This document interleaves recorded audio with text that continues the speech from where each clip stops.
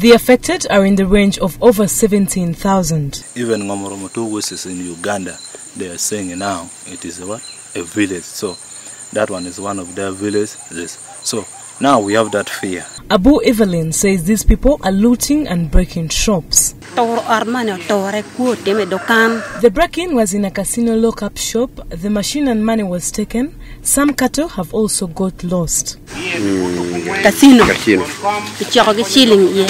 Whether Ugandan or South Sudanese, they can ask you some question and they will ask you to identify yourself. In the wake of this contentious international border security matter, the Lamwo RDC Kidega James Nambinson NOC met the affected communities.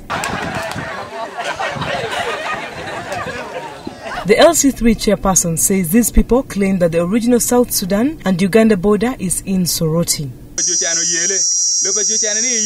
When their country went into conflict, the SPLA seized the chance to use the area as an operation corridor. Up to today, we do not know what the security organs are up to.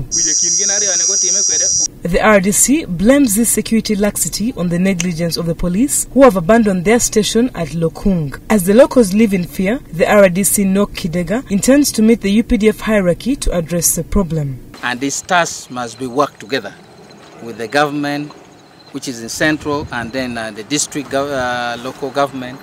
Uh, we need to work as a team. Report by Joseph Omagor for Urban TV.